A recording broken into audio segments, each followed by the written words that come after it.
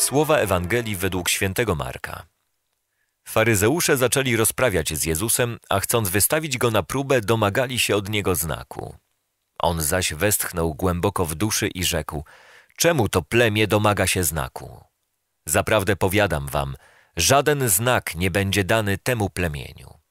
I zostawiwszy ich, wsiadł z powrotem do łodzi i odpłynął na drugą stronę.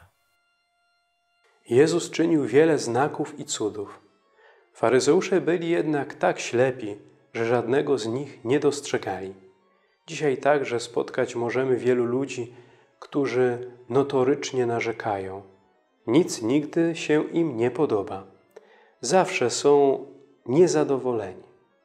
Ten, kto nie potrafi dostrzec dobra w swoim życiu, nie jest zdolny dostrzec dobra w drugim człowieku.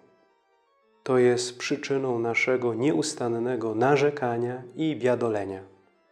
Sądzę, że właśnie dzisiejszy fragment dobrej nowiny jest swoistym wyrzutem sumienia dla każdego z nas. Ewangelia stawia nam bowiem pytanie, czy potrafimy dostrzec te drobne cuda w naszym życiu, których dokonuje Bóg? Czy jesteśmy wdzięczni Bogu za wszystko, co nas w życiu spotyka?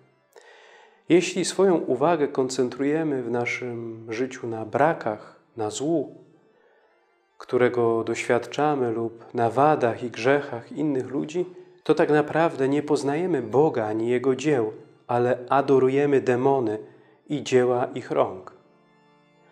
Zadaniem nas, chrześcijan, jest kontemplacja Boga pośród tego świata, ale dokonuje się ona poprzez czynienie dobra, dostrzeganie dobra w sobie i wokół nas oraz na afirmacji dobra. Zło jest krzykliwe, a dobro ciche. Potrzeba, abyśmy z większą uwagą szukali dobra, czyli znaków, które dokonuje Bóg i je ukazywali innym.